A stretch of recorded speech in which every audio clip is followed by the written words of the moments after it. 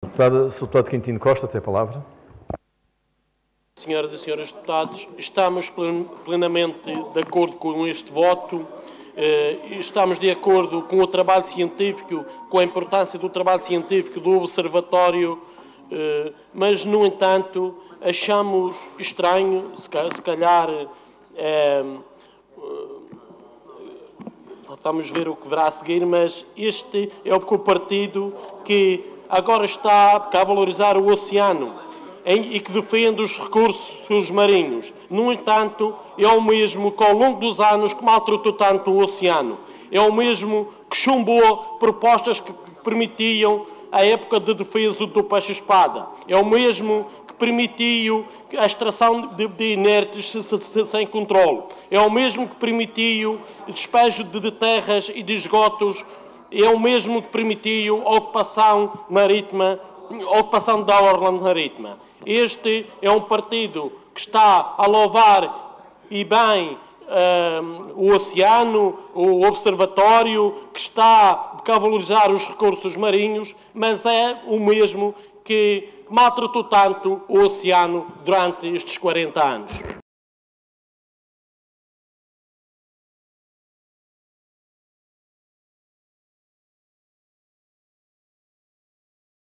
Palavra para a intervenção, o Sr. Deputado Quintino Costa.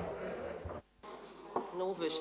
Presidente, senhoras e senhores deputados, estas propostas, estas propostas reconhecem o trabalho que estas instituições prestam à sociedade, nomeadamente na área da, da educação musical e, e no papel da manutenção das tradições regionais. Estes apoios são legítimos e estamos de acordo com a possibilidade de acumular estes apoios com outros subsídios, nomeadamente com os apoios atribuídos pelo Poder Local. Embora esses apoios atribuídos pelo Poder Local sejam cada vez mais reduzidos.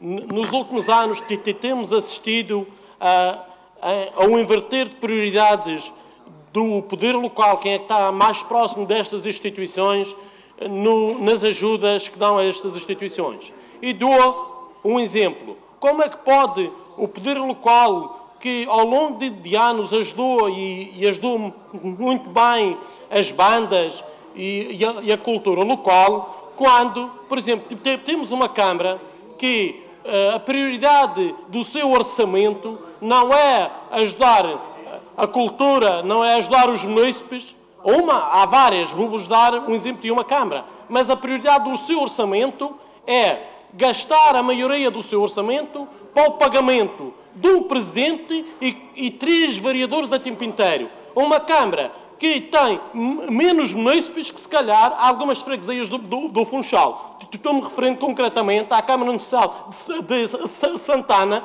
que, com tão poucos munícipes, tem a tempo inteiro um presidente e três vereadores. Ainda bem que não elegeram mais, senão havia muito mais.